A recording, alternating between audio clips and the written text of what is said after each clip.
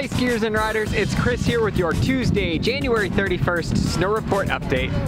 We've got a nice partly sunny day today with temps in the low 30s. Because of the lower temps last night, snowmaking was back out on the mountain, taking advantage of the colder temps to resurface some of our trails. We got a little dusting of natural snow last night, just like a little bit of powdered sugar on your dessert. We are gonna have 24 trails open today off of six lifts. Conditions are machine groomed, loose, granular.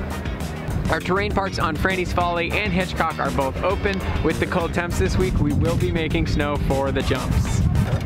Did you know today is National Hot Chocolate Day? We're gonna be having a little scavenger hunt on the mountain. If you can find all five hot chocolate emojis, write down where they are and go to customer service, we will give you a prize. Tomorrow, Wednesday, is college night. You can get a discounted ticket and rental package with your valid student ID. And for today's snow report, as always, for more info and to reload your tickets, go to Wachusett.com. Cue the jingle.